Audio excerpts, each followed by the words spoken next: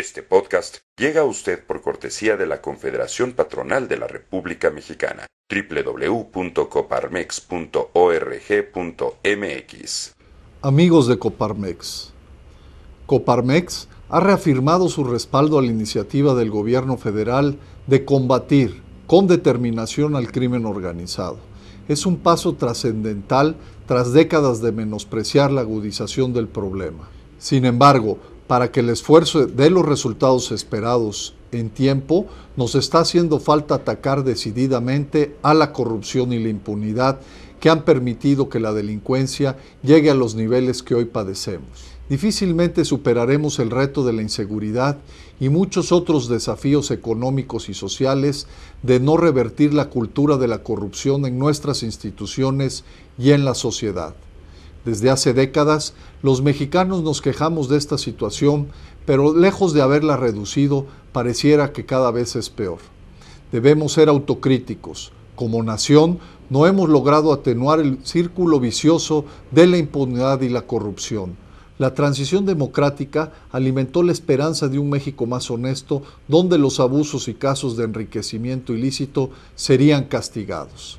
Desgraciadamente, esto no ha sucedido. Al contrario, surgen nuevos casos en todos los niveles que terminan solo en escándalos mediáticos. Detrás de muchas de las tragedias que hemos vivido, como los casos del casino en Monterrey, la guardería ABC o las matanzas de migrantes, hay corrupción e impunidad, consecuencias directas o indirectas del soborno y el tráfico de personas, armas o contrabando, con la complicidad o negligencia de agentes que rara vez son castigados.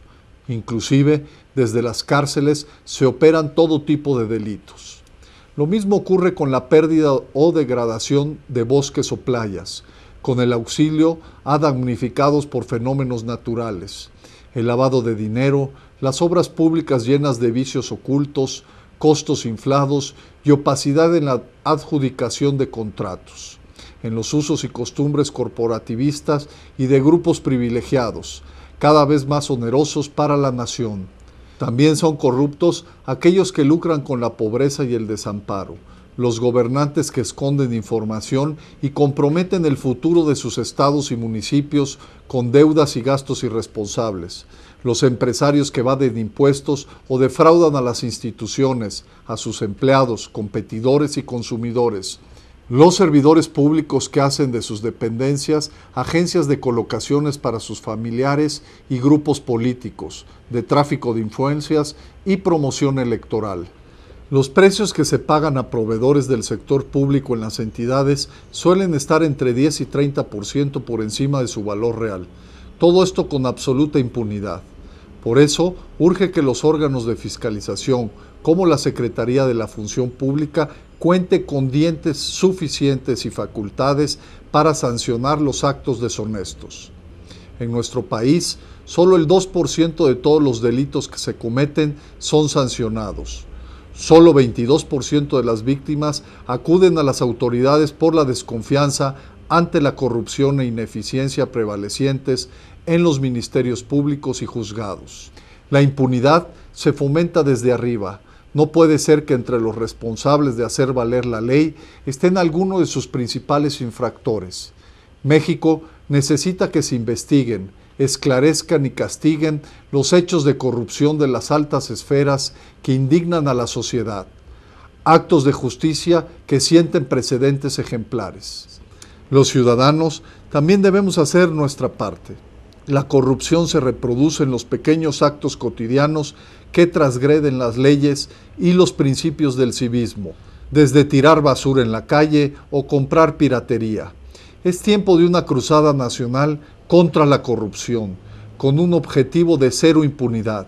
El pueblo mexicano no es, por naturaleza, más corrupto o pasivo ante el abuso que otros.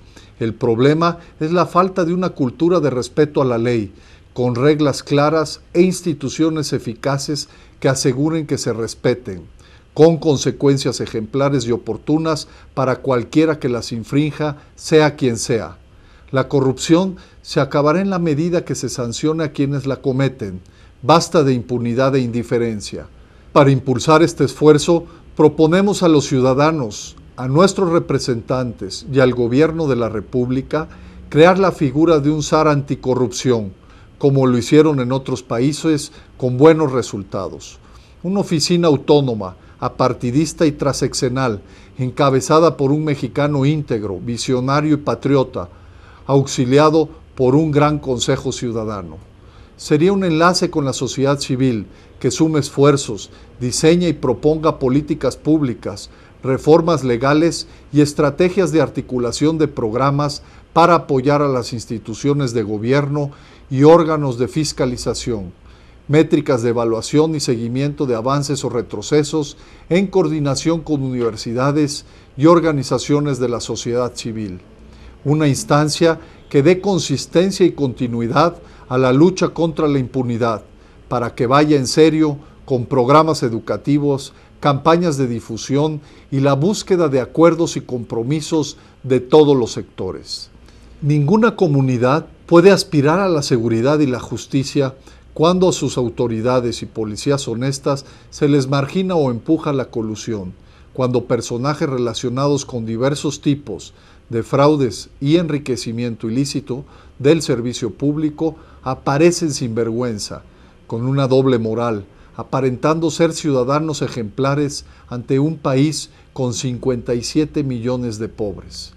Mucho menos cuando figuras como la del narcotraficante o el político corrompido son modelos a seguir para algunos. Es tiempo de dar este paso complementario a la lucha contra la delincuencia, indispensable para un país con la grandeza, la nobleza y el potencial de nuestro México. Maduremos como país. Hagámoslo por nuestros hijos.